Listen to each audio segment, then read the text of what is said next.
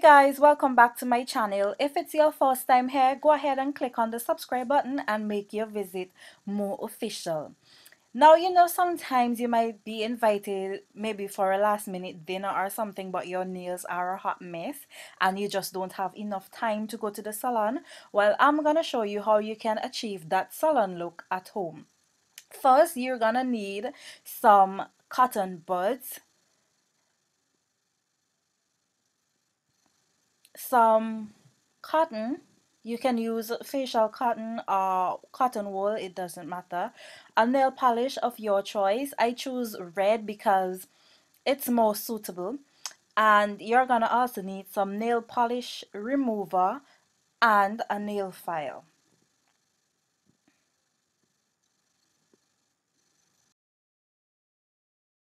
here's my nails freshly washed and clean. You're gonna need clean hands if you want to achieve that neat look when you're done. I'm gonna start off by filing down my nails and you're gonna have to try and make your nails as even as possible because the eve the more even they look is the more professional they look. Also I'm gonna file the top of my nails because I just took off some acrylic and the top of my nails is a little rough and rugged. So I'm gonna need to file them down as smooth as possible in order to ap apply my polish smoothly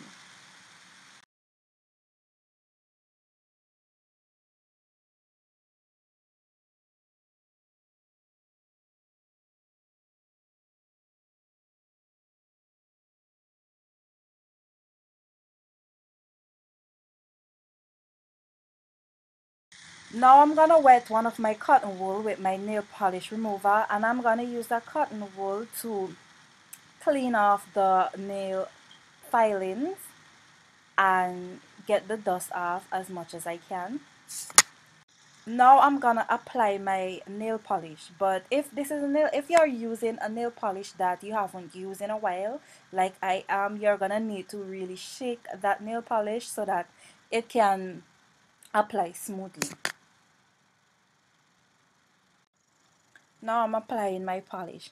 If you mess up and your polish go where it's not supposed to don't worry about that because that's why we have the cotton buds because you can wet the tip of the cotton buds and then clean off those rough edges when you're done.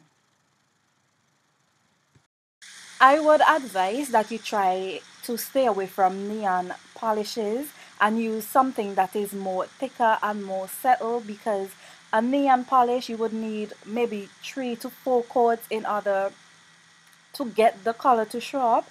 And when you do that then the nail polish is gonna stay longer to dry.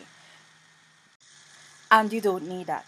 So now like I said before I'm gonna go over to whatever area I messed up with my polish and I'm just gonna clean up those edges with my cotton wool. Because the cotton wool is narrow it makes it a lot easier to clean up your edges. And I went ahead and did the same thing to my other hand apply my nail polish and then clean up my edges. And this is the this is after I've applied my nail polish. They're very neat and they look good. But I'm gonna go ahead and I'm gonna add some top coat just so that my polish can last a little longer. You can choose to skip this part or you can do it is the only difference is your nail polish may last maybe two to three days longer than it would with the nail polish by itself so I'm gonna add my top coat oh and the top coat also added a little bit more shine to the normal nail polish and here's my finished look. I told you you can achieve this look at home. I do this because I normally don't have the money all the time to spend at uh, a nail salon so I do it at home. If you enjoy this video please give it a thumbs up and click on the subscribe button that way you can be updated every time I post new and excited video. Until my next video thanks for watching. Bye guys.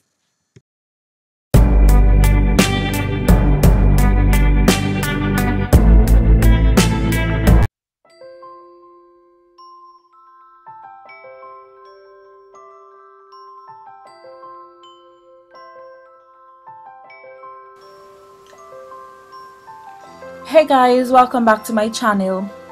Today we're gonna try this purple and black smoky eye look. It's been on my mind for a while to try and since the winter hair is almost out I figured why not today? So we're gonna start off by priming our eyelid